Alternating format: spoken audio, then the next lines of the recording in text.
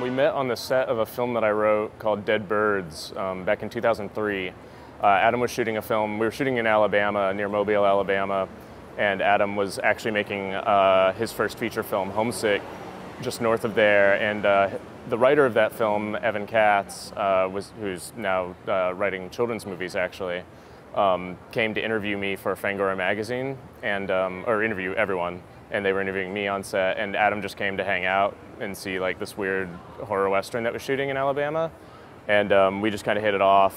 They ended up hanging out on set. It was a terrible shooting day.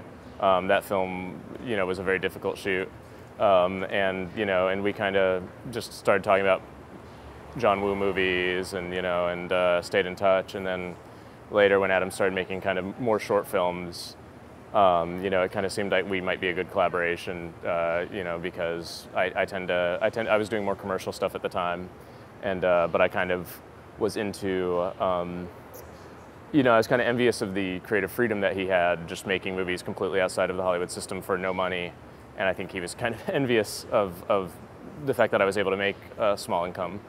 Um, so, uh, so yeah, so we kind of hit it off uh, and started, you know, started collaborating the way that Adam and I work together is he'll have literally just kind of like the germ of an idea, like, oh, if we make a movie about a serial killer, maybe people will actually want to watch it. And then I just go off completely on my own and try to find a way that that, I mean, it's actually interesting. We tend to make films that we don't, like in a genres that we don't like. Like I don't like serial killer movies um, for various reasons. I, I, I think they're annoying and I think mostly that story's just been completely played out. Um, so the idea of doing a serial killer movie initially didn't appeal to me, but then it was kind of like, how would I do something very different from that? And um, you know, and that's kind of where you know Horrible Did I came from. And but Adam didn't know the story or the characters or the fact that I, I was out of chronological order. Um, you know, any any of the story elements were all new to him when he saw my finished screenplay. Similarly, when Adam edits and shoots, I mean, I'm there when he shoots and I and I look at the dailies with him and stuff, but when he assembles his rough cut, I stay completely out of the editing room. Um, so in other words, we try to collaborate, but in a way that's fun and exciting by showing each other finished products. So Adam will give me like, oh, do a serial killer movie, or our next one was a home invasion movie, where he's just like, let's just do a home invasion movie next. I was like, I hate home invasion movies. He's like, perfect. So I went off and I wrote a home invasion movie, but he didn't know the tone, uh, the characters, the story, anything about it until I handed him the finished script, and he's like, great, let's shoot it. And then he shot it, and then he works in the editing room, and then he, I don't see anything until he has a rough cut. You know, and Adam tends to edit very quickly, and his rough cuts tend to be not that rough. Um, you know, he does like like fairly fairly involved sound mixes and stuff. So I get to see he gets to see a finished script, you know, before he sees a single page, and I get to see more or less a finished film before I see any like rough cut or you know like like which is good because I'd get a lot of anxiety I think if uh, if he showed me like rough footage that wasn't working, I'd be like, oh, we just ruined our lives for no reason. What fun we are having came about in a kind of interesting way, which is Adam did shoot this short, Hot Boys, uh, which centered around a date rape. And instead of cutting it down, it was like a 15 minute short, which Adam and I are pretty brutal with our cuts. Like we, you know, we kind of believe that no movie should be over 90 minutes unless it really is doing something quite epic. Same with short films. If your short film's 15 minutes, I'm bored, man. So he was like, you know, this is a 15 minute short film, but I like it. I don't want to cut it down to seven minutes. So instead of cutting it down to seven minutes, why don't I make like three others, connect the plot lines, and make an 80 minute feature?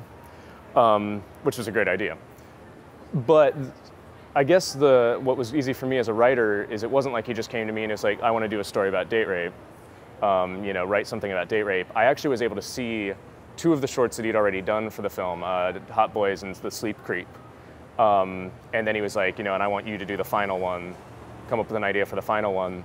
And I was able to look at what the first two had done and kind of think to myself, in, in the case of this particular project, I think people, because I come from such a genre background and I tend to write, like my first several scripts that I got made were supernatural horror or creature horror. Um, I think people tend to expect my segment of the date rape movie to be the most extreme. Actually, Evan Katz, who wrote Pop Skull and Homesick, his are definitely the most like extreme in terms of content. Uh, but because I was able to actually see those first, I was able to respond to them and be like, okay, if the fourth segment is like this, it's going to be exhausting. The fourth segment should actually just be as realistic and as grounded as possible.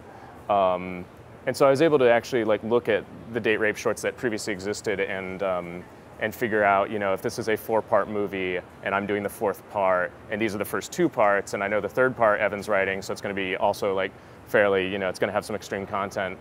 Um, you know, I don't want to try to like outdo what Adam and Evan are coming up with in terms of the genre stuff. I should, in fact, dial it back as much as I can into, you know, this isn't so much like an absurd story about date rape, but this is like how this actually happens um, and how it could happen to how two perfectly nice people could end up having this terrible thing happen to them.